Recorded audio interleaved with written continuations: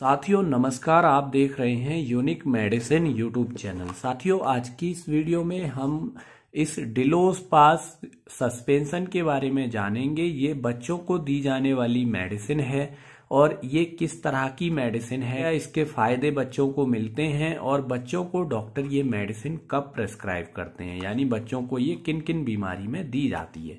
तो दोस्तों, ये बहुत सारी इन्फॉर्मेशन आपको इस वीडियो में मिलने वाली है। आप वीडियो को लगातार देखते रहिए।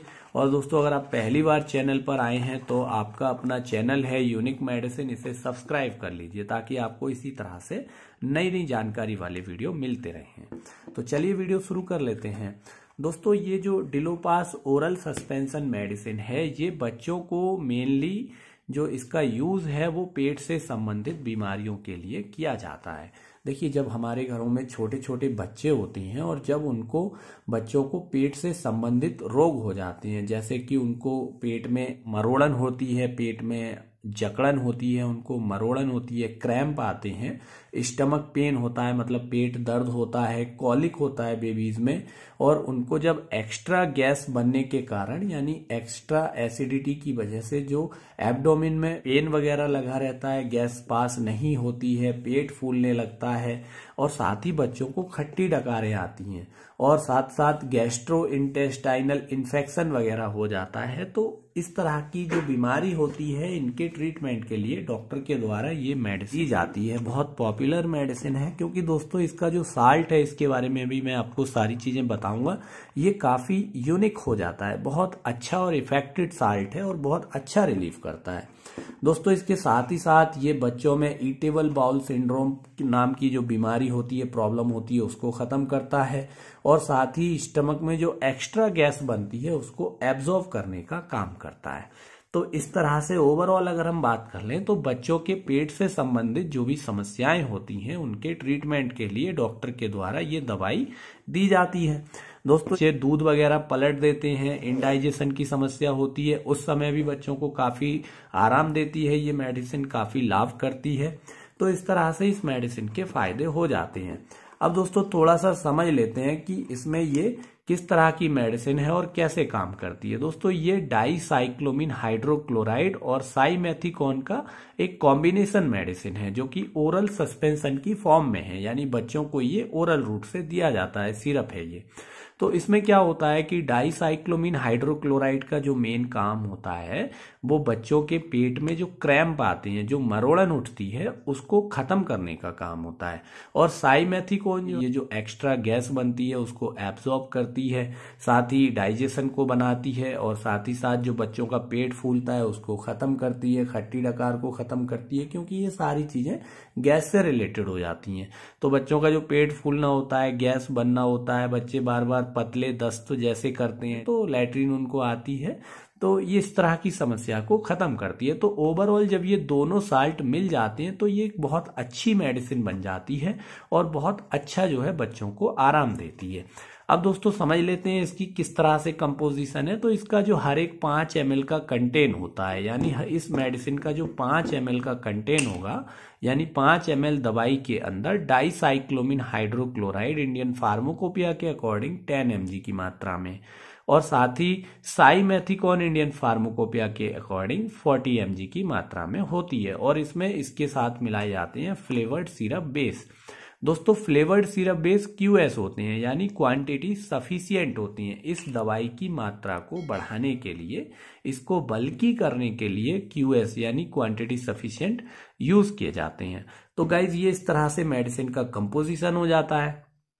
अब समझ लेते हैं थोड़ा इसकी डोज के बारे में तो हमेशा जो रेड स्ट्रिप मेडिसिन होती है, इन पर डोज कभी मेंशन नहीं होती है। क्योंकि डोज जो है डॉक्टर के अनुसार दी जाती है डॉक्टर बच्चे की स्थिति को देखते हैं, उसकी बीमारी को देखते हैं, और उसको कितनी, किस तरह की प्रॉब्लम है, और साथ ही साथ बच्चे की एज क्या है, उसका बॉडी वेट क्या है, कितनी मेडिसिन बच्चे को दी जा सकती है तो ये सारे जो फैक्टर्स होते हैं, सारी चीज़ों को माप तोल करके ही डॉक्टर मेडिसिन प्रेस्क्राइब करते हैं। तो ऐसे कभी भी खुद से आपको मेडिसिन नहीं देनी होती है, क्योंकि ये शेड्यूल एच कैटेगरी वाली मेडिसिन है तो कभी भी खुद से आपको नहीं देनी है और ना ही मेडिकल स्टोर को बिना पर्चे पर इसको सेल करना चाहिए। दोस्तों, इस मेडिसिन को यूज़ करने से पहले अच्छी तरह से आपको शेक करना है, यानी हिलाना है, ताकि ये जो कॉम्पोजिशन है, वो ग्रेविटी की वजह से बॉटम में बैठ जाता है और जब अगर आप बिना हिला के देते हैं तो ये दवाई की एक सही डोज बच्चे को नहीं मिल पाती है। अगर आप इसको सेक करके देते हैं तो ये मेडिसिन का जो कंपोजिशन है, वो अच्छी तरह से आपस में मिक्स हो जाता है और फिर एक सही डोज बच्चे को इस मेजर कप की मात्रा से दी जाती है तो बच्चे को बहुत अच्छा आराम मिलता है और बच्चा जल्दी ठीक हो जाता है। गाइज़ इसको मैन्युफैक्चर किया है स्विस बायोटेक ने, और यहाँ इसका लाइसेंस नंबर है, और साथ ही साथ इसका एमआरपी है बावन रुपए फिफ्टी टू रुपीज़ में आपको ये मिल जाती है, पाँच दो हज़ार तेईस तक इसकी लाइफ है। तो इस तरह से ये मेडिसिन की बात हुई, इसकी बेसिक इंफॉर्मेशन की बात हुई, बच्चों को दिया जाने वाला सिरप है। ओरल सस्पेंशन है। 60 एम की पैकिंग में बच्चों के लिए ये आता है। इसकी जो पैकिंग है वो 60 एम की है। यहाँ भी आप देख सकते हैं आर एक्स मेडिसिन है, प्रिस्क्रिप्शन वाली मेडिसिन है। तो कभी भी आपको खुद से नहीं देनी है तो ये आपको हमेशा ध्यान रखना है।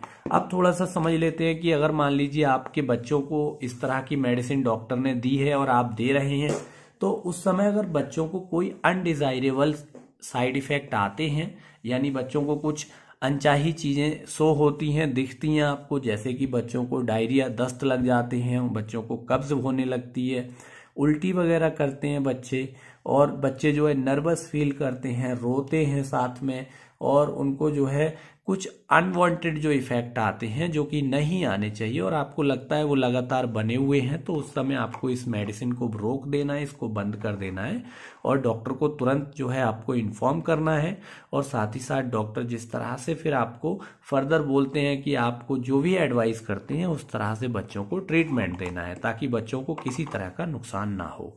और दोस्तों, साथ में आपको ध्यान रखना है कि कभी भी मेडिसिन की एक्सेस डोज यानी ज़्यादा फालतू डोज आपको नहीं देनी डोज डॉक्टर बताते हैं? मान लीजिए डॉक्टर ने, मैं आपको एग्ज़ाम्पल के तौर पर बता रहा हूँ कि अगर डॉक्टर ने कहा, आप ढाई एमएल सिरप दे दीजिए, तब आपको ढाई एमएल सिरप माप के देना होता है। आपको कम या ज़्यादा नहीं करना है। तो ये चीज़ों का आपको ध्यान रखना है। कुछ सेफ्टी टिप्स का आपको ध्यान रखना है, बच्चों की पहुँच से मेडिसिन को दूर रखना है, इसको धूल धूप, मॉइस्चर, सनलाइट वगैरह से बचाना है ताकि मेडिसिन खराब ना हो और बहुत दिन तक रखी हुई मेडिसिन बच्चों को यूज़ नहीं करानी है। अगर मेडिसिन एक दो महीना, एक एक महीना हो जाता है मेडिसिन को ओपन करने के बाद तो उसके बाद यूज़ कर लेना चाहिए और अगर यूज़ नहीं होती है तो उसको फेंक देना चाहिए। नेक्स्ट टाइम फिर आपको नई मेडिसिन खरीदनी चाहिए। दोस्तों, साथ ही साथ अगर हम बात कर लें, आपको और क्या ध्यान रखना है? तो जो एलर्जी, अगर बच्चे इस तरह की मेडिसिन से, अगर उनको कोई एलर्जी हुई है पहले ऐसी मेडिसिन लेने से तो डॉक्टर को बता दें। उनको फिर ये मेडिसिन ना दें क्योंकि उनको फिर से एलर्जी हो सकती है और फिर प्रॉब्लम और भी ज़्यादा बढ़ सकती है। दोस्तों, ये ओटीसी प्रोडक्ट नहीं है, यानी ओवर द काउंटर आप इसको नहीं खरीद सकते। ये एक प्रिस्क्रिप्शन वाला प्रोडक्ट है तो प्रिस्क्रिप्शन पर ही आपको देना है। ओटीसी प्रोडक्ट की तरह इसका यूज़ नहीं करना है।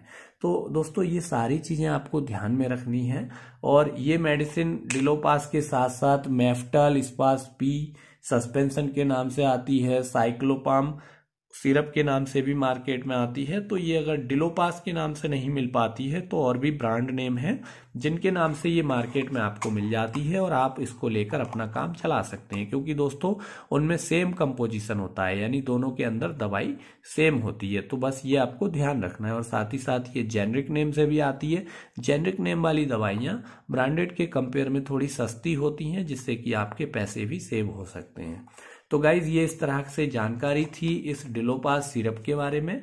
मैं आशा करता हूँ दोस्तों जानकारी अच्छी लगी है और दोस्तों जो आपको लगता है कि जानकारी आपके काम की है, आपको अच्छी लगी है तो लाइक कर दें शेयर कर दें वीडियो को और चैनल को सब्सक्राइब करके घंटे के बटन को दबा दें दोस्तों। क्योंकि आप घंटे के बटन को दबा देते हैं तो आपको नए नए नोटिफिकेशन मिलते हैं और आप लाइक शेयर करते हैं तो हमें मोटिवेशन मिलता है अच्छी अच्छी जानकारी वाले वीडियो बनाने के लिए। तो गाइज़ सेफ़ रहिए, अपना ख्याल रखिए, देखते रहिए आपका अपना यूट्यूब चैनल यूनिक मेडिसिन तो आपसे मिलते हैं एक नई वीडियो में नई जानकारी के साथ। तब तक मैं अपने शब्दों को ब्राम लेता हूँ, आपसे विदा लेता हूँ। जय हिंद, जय भारत साथियों।